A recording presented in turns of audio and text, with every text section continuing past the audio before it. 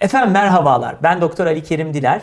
Sevgili program partnerim Ali Can Aytekin'le birlikte yine bir YouTube videosunda şahane ekibimiz ve başlarında Reyhan Tüysüz yönetmenimle tekrar karşınızdayız. Ne konuşuyoruz Ali Can bugün? En sevdiğim konu. Ne o? Şu abladan da yola çıkarak e, baldırlarını görüyorum ve diyorum ki bölgesel yağlanması var. Ya o Harley Quinn onun baldırı mı var ya?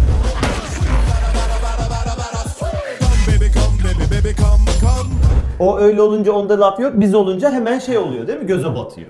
Yani aslında tabii bu birazcık kişisel kendini algıyla da ilgili bir durum ama evet lokal yağlanma, bölgesel yağlanma bugün kadın erkek her iki cinsi de Evet, ciddi kesinlikle. etkileyen bir konu. Beni de mi etkiledi diyorsun? Beni, beni- doğduğumdan beri beni etkiledi. Çünkü ailesi yani genetik olarak düşünüyorum. Çünkü e, bacaklarım filan ince ama böl mesela karın bölgemde acayip bir yağlanma var. Tamam zaten niye geliyor insanlar? Diyor ki erkekler ya şu doktor karnımın etrafındaki simitlerden kurtar beni.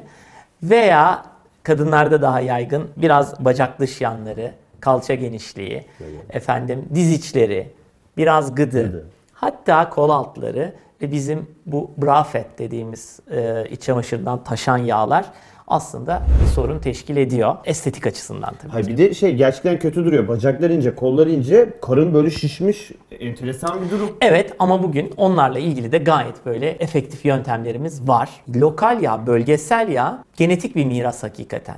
Ve yağ dokusu aslında bizim Milano'daki okulda bu işin en önemli uzmanlarından biri e, Profesör Curry yağ dokusunun insan vücudunun en asil dokusu olduğundan bahsederdi. Çünkü damar damara e, yani kılcal damarlarla yağ hücreleri arasında duvar duvara bir alışveriş olduğu, yağ dokusunun aslında bir hormon deposu olduğunu bugün biliyoruz. Bir yandan o yağ dokusunu gidermeye de tabii ki çalışıyoruz. Dolayısıyla bunda da bir denge oluşturmak gerekiyor. Evet, bana yağ dokusunu sevdirmeye çalışmayın hocam. Sevmiyorum. Biz bunu nasıl yok edebiliriz? Tamam. Ona gelelim. O zaman şöyle. Bunun için biliyorsun bir sürü yöntem var. Yani kimi zaman radyo frekans veriyoruz, kimi zaman lazerle yakıyoruz, kimi zaman cerrah arkadaşlarımız liposakşınla o yağ uzaklaştırmaya çalışıyor vücuttan veya başka yöntemler.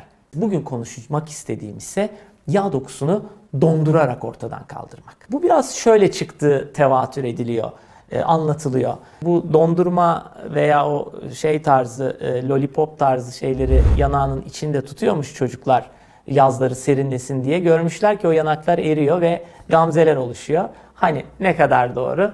Peki e, böyle anlatılıyor. Buradan çıkmış bir yöntem olarak bize aktarıldı. Yağ dokusunu dondurarak eritme yöntemi aslında şu. Yağ dokusunu eksi 11, eksi 13 dereceye kadar soğuttuğumuz zaman yağ hücreleri ölüyorlar.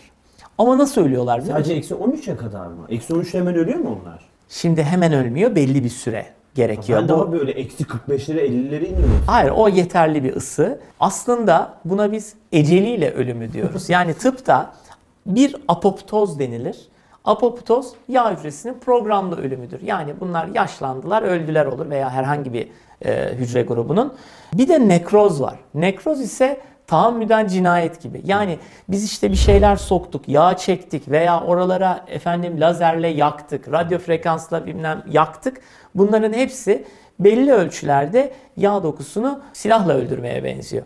Ama dondurarak öldürme olayın çok daha doğru bir şekilde sanki yağ dokusu eceliyle ölmüşçesine hissettirerek e, ortadan kaldıran bir yöntem. Ve vücut bu yağı yavaş yavaş kendinden uzaklaştırmaya başlıyor. Ne kadar bir süre? Aslında tek seans yapılan bir uygulama.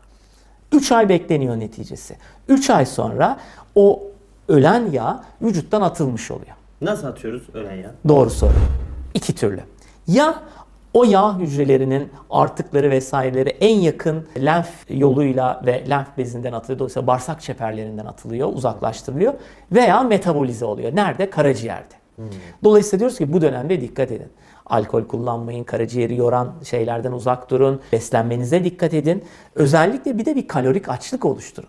Şimdi bir insanın günlük ihtiyacı 2200, 2400, 2500 kalori. Biraz daha fazla e, fiziksel aktivitesi varsa 3-4 binlere kadar gidiyor. Ama belli bir kalorik eksiklik durumunda da ne yapıyor beyin? Bilgisayar gibi kanda şeker bulamayınca yağları metabolize ediyor. Hangi yağlar? İşte buradan çözülmüş olan yağları da metabolize ediyor. Hani bu da bir metabolize ediliyor diyelim. Birkaç yolu var vücuttan uzaklaşmanın. Bu da onlardan bir tanesi. Ee, eğer gerekirse bir ikinci seans o zaman e, birkaç ay sonra, 3 ay 4 ay sonra bir ikinci seans daha uygulanabiliyor. Seans ne kadar sürüyor? Şimdi tek bir bölge için konuşacak olursak 30 dakika e, karın vesaire ama bacak dış yanları biraz daha farklı yöntemleri gerektirdiği için 75 dakika kadar sürüyor.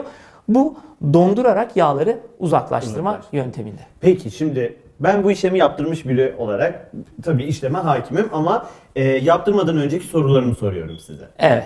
Bu donduruyoruz ya hani insanın derisi donarak da yanıyor. Evet. Yanma ihtimalim var mı? Süper soru. Şimdi burada bu eksi ısıdan etkilenen yegane doku yağ dokusu. Damar sinir sistemi, e, cilt bundan etkilenmiyor. Zaten e, o kadar fazla sensöre hakim bir sistem kullanılıyor ki bu alanda e, cildin aşırı soğumasının önüne geçiyor. Çünkü soğuk yanığı da ciddi bir problem. Ha işte bu noktada e, cihaz seçimleri önemli. İşte o noktada da birazcık piyasayı da bilgilendirmek adına bu konuda FDA onaylı e, bir cihaz var. E, onu kullanmanın biraz daha güvenlik standartları daha yüksekte tutması açısından önem taşıyor. Çünkü cilt yanıkları oluyor. Yani ben bir sürü de hakikaten e, bu sistemin kopyalarını yapmışlar. Biz dondurarak yağ eritiyoruz diyor.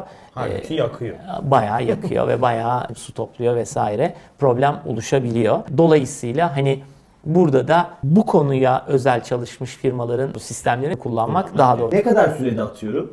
Yaptırdın. Etkisi ne kadar sürede görüyorum?